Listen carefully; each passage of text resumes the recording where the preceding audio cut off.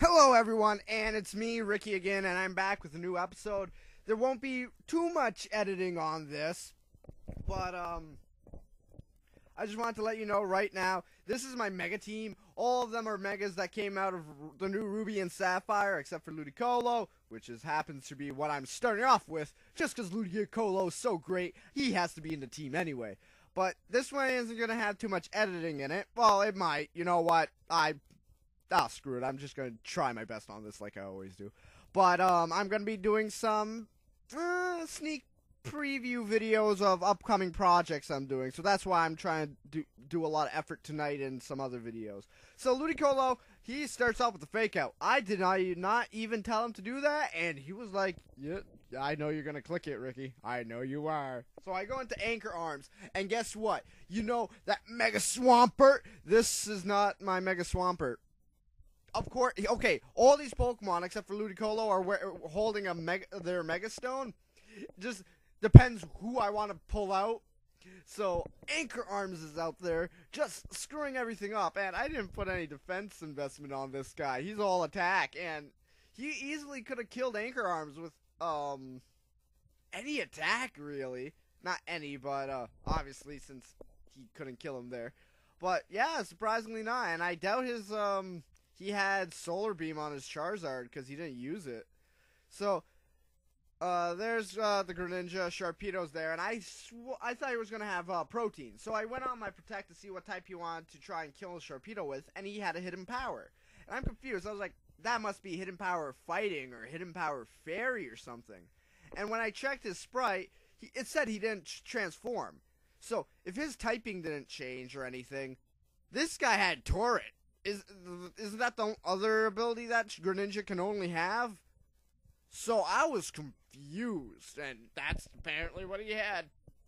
So I go into the Lopunny and fake out, and Lopunny did it. And this isn't the this I love Mega Lopunny, but you ain't gonna see Mega Lopunny today. But you will see a Fire Punch, and you will see a Lopunny kick the ass of a Greninja and a Venusaur. And that that is just sheer amazement. Charizard comes in. I take out that Lopunny because I know I could use Lopunny. And I go into my uh, Slowbro. And he uses Flare Blitz.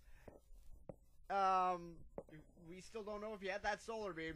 So Dragonite comes in, takes uh quarter from uh, ugh quarter. He takes uh, some portions from the. Actually, would be a quarter.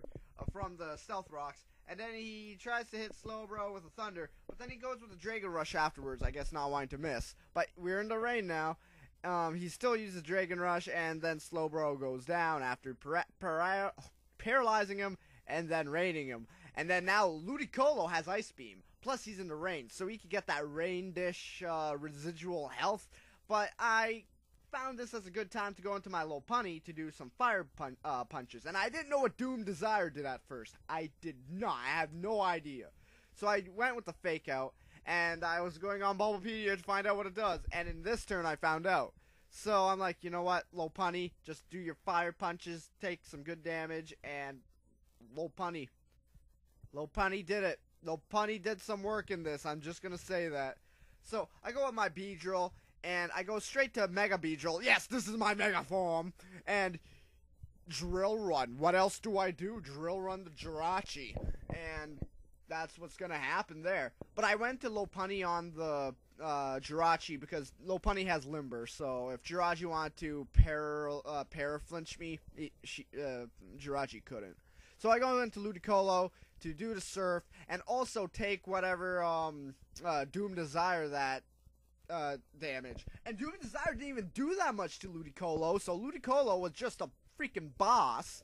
And so Giga Drain on that, just to get some health, then do some damage, and Moonblast kills the Ludicolo, which is alright, because now I got my Poison Bug type, Beedrill, who's about to drill a freaking hole into Sylveon's asshole, which, was a, oh, not Horn Drill, freaking Poison Jab. And I'm just gonna say, the stats of some of these new megas are ridiculous. Like, um, I'm going to start off with Beedrill. I believe he starts off with, um, 90 attack, and then he goes to 150 attack, and his, uh, speed goes from 75 to 145.